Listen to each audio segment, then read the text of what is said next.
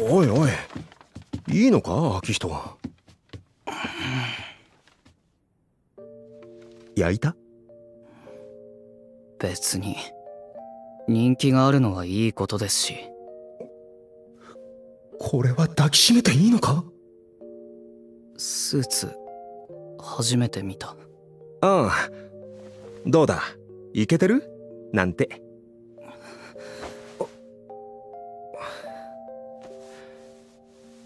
焼く必要ねえんだぞ。マジで。うん。緊張は？先生。どっか吹っ飛んだ。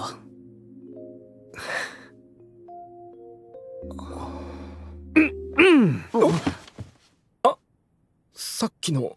おじさん。え？おじさん？若ってか言われてみれば似てる今の見られたか？セーフ？説明を。アウト！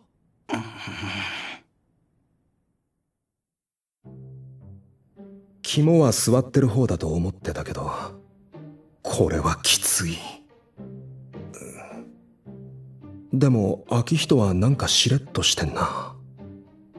おじさん僕この人と交際してます。ん？同性同士に偏見ってありますか？バカ！修羅場になっちまうぞ！ちょそんなちっせえことで私がとやかく言うとでも？ええところでまだ名前も聞いてないんだが？スメラギ豪太郎です。職業は？警察官です。年は？28です。ふーん。ダメだ。最初からすっげえ嫌われてる。おじさん。ジュンだ君がおじさんって呼ぶな。すみませんジュンさん。お俺は秋人のこと本気です。どうか認めていただけませんか？じゃあ試験だ。え？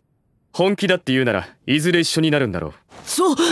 その時君が頼りにならないと困るのは秋人だ。家事全般私が試験してやる。火事？なんで？